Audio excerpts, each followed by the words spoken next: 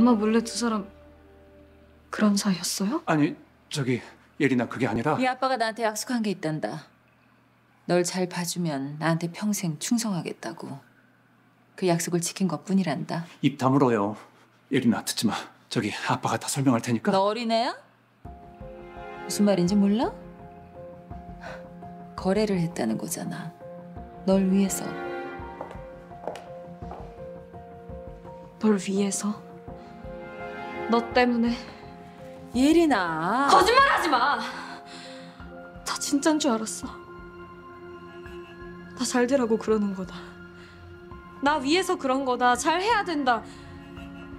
근데 말해봐요. 이게 진짜 다 날 위한 거였어?